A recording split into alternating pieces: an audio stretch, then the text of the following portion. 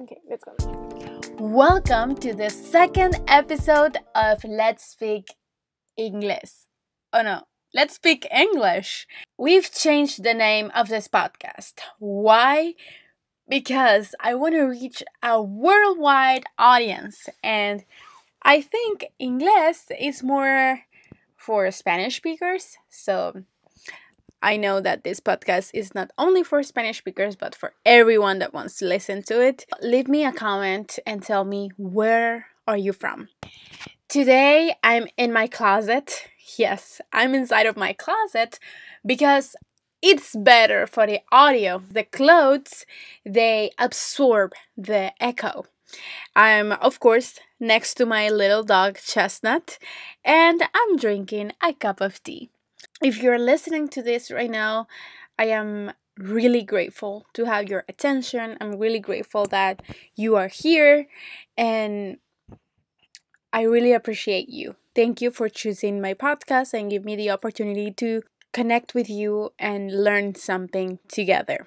Today is February of 2022. After I finish recording this podcast, I'm going to watch the Super Bowl which is something I have no idea about. I really do not understand the game, even though I do not understand it, makes me feel that I belong here, that I'm part of it too. And it's not a thing that they do, it's something that we do.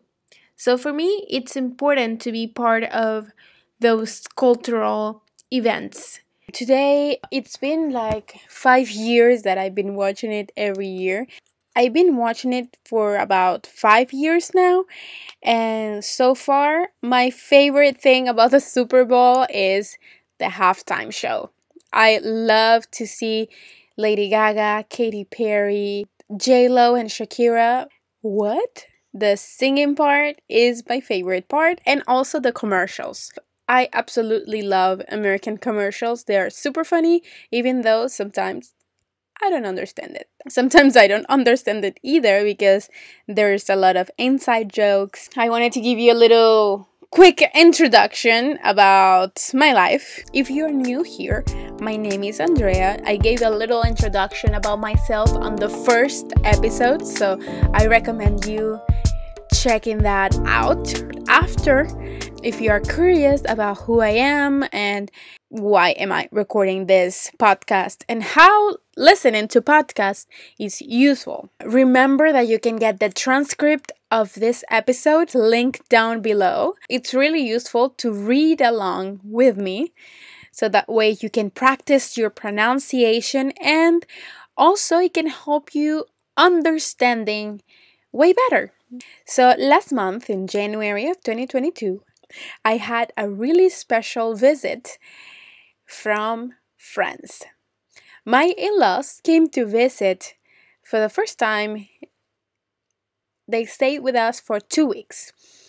And honestly, my biggest concern was the language, the language barrier.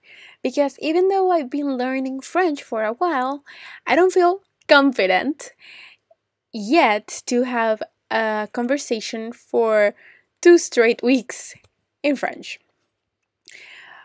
It turned out really well, way better than what I expected. So that's why I want to share with you a little survival guide to um, communicate in English or in any language, really. I think it would be useful for any language. One of the things that I've struggled the most in English was my pronunciation. That's why I've created a pronunciation workshop. The sounds of English.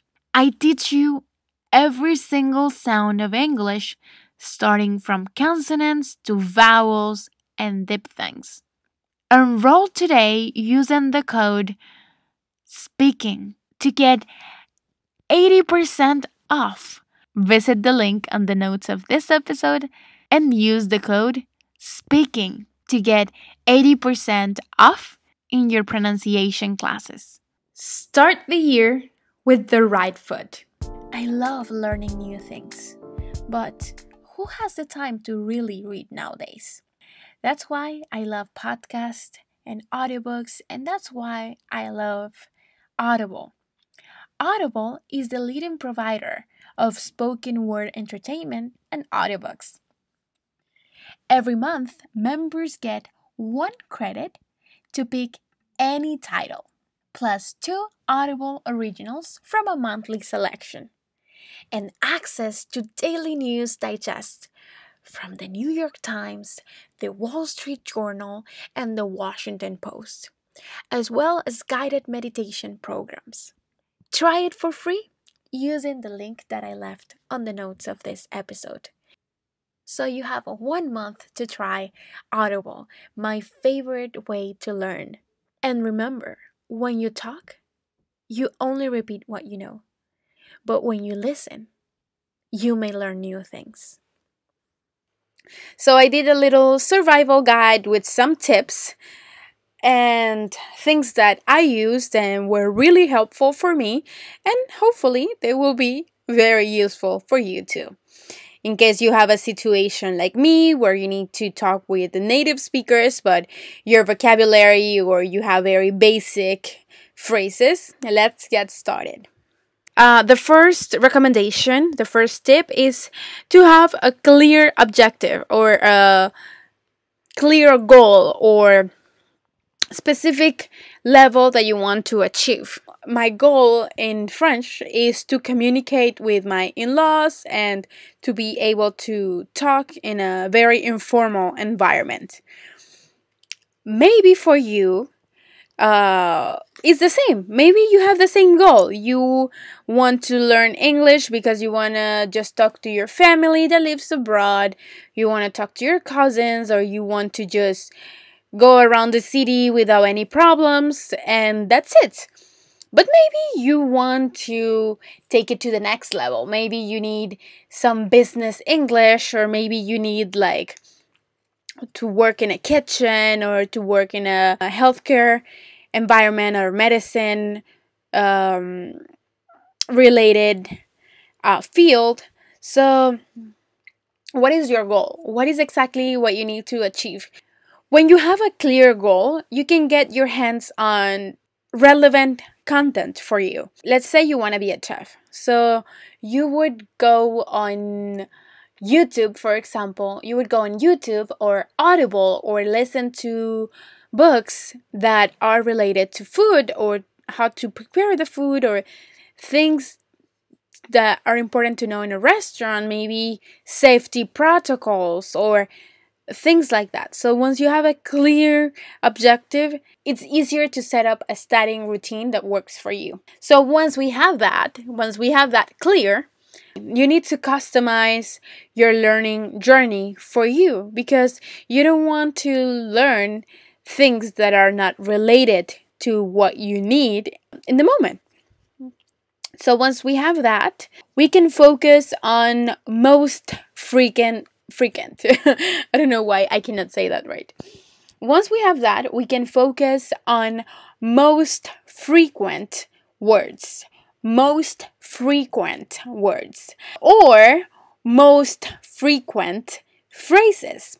Once we have our goal, we can focus on most frequent wor- most frequent words in our field or most frequent phrases in potential scenarios that we would be exposed to.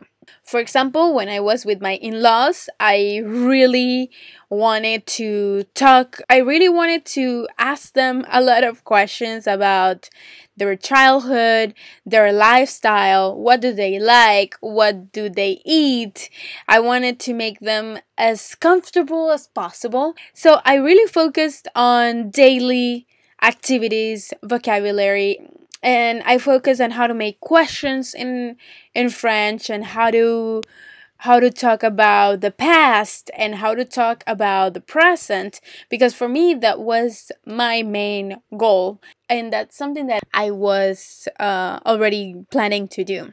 I didn't plan the conversations in my head because I'm not that crazy, but I had an idea of things that I should focus on. I, I had an idea of potential conversations that I could have with them, and I got ready in those um, subjects. Another thing that helped me to prepare to my only French two weeks, it was to find similarities with my native language. So it was really useful to look for similarities in my own language because whenever I didn't know a word, I would try to French. Uh, wait. To franchise. To say that word in a French way. So whenever I didn't know a word in French, I would find the word either in English or Spanish, and I would try to make that word French.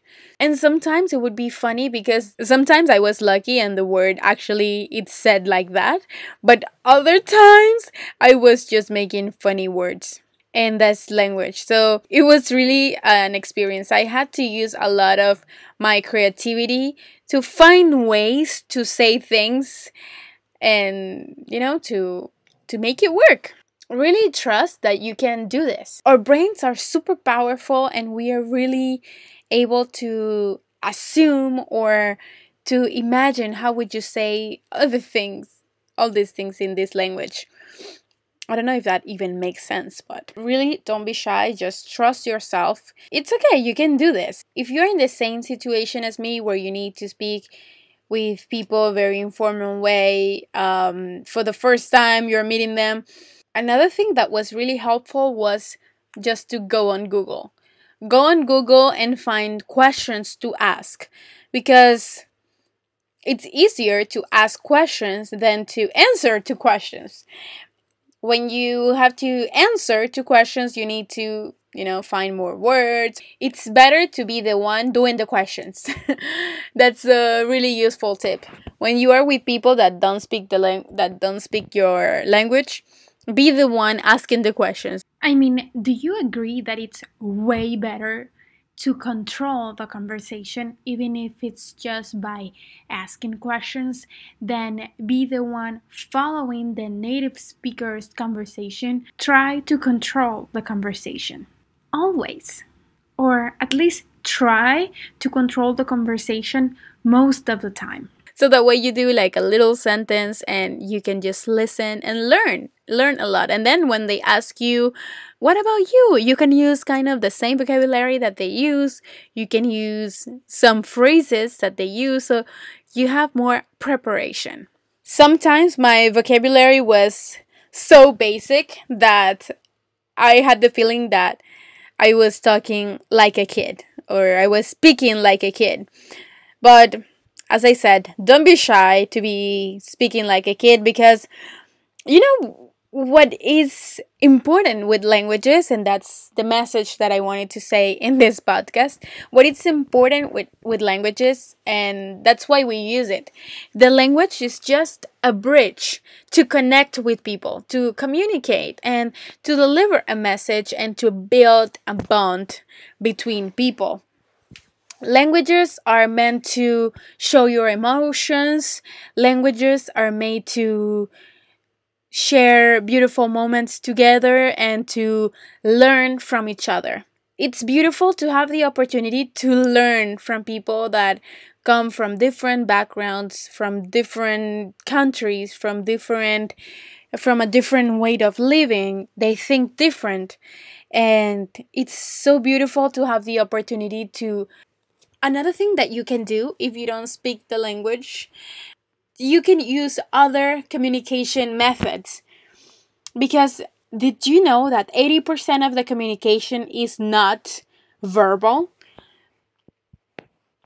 So, I wanted to talk about a few ways to communicate even without words. You can also communicate without words. So, really, I think that not knowing the language or not knowing a lot the language is not necessarily an excuse to not talk to the person because when you really, really want, you can communicate by eye contact, gestures. You can talk with your hands a lot. You can say what you want physical contact, fa- facial expressions, posture.